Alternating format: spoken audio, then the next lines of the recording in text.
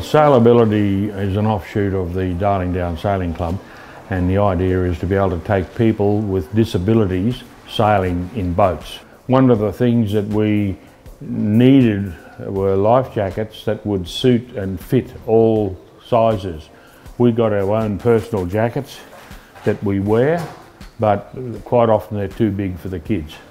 And uh, so we put in for a grant to um, asked the council and they've given us some money to buy a series of life jackets that will fit everybody. Council community grants for the first round of this financial year, the 1920 year, are now open. So they open on the 1st of July and they close on the 1st of August. So I'm encourage all community groups to, to jump on our council website, have a look at the information. If you're unsure, you can also ring 131 872 and ask to, to, to talk to one of our community development officers uh, because they're armed with all the information as well and can in fact help you with your, uh, with your application. I think it's a great idea and uh, it's been very, very good of the council to be able to do this for us.